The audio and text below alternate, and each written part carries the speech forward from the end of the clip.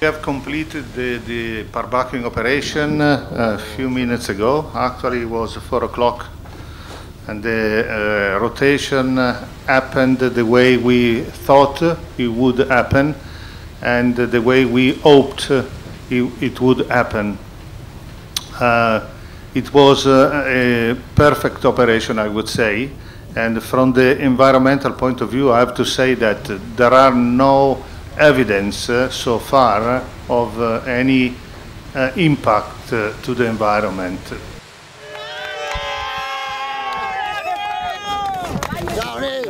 Mostly without uh, all the shipyards and fabrication facilities and everything being delivered on time, we wouldn't be here today. So there's very few countries in the world that could support that much fabrication in the timeline that was done.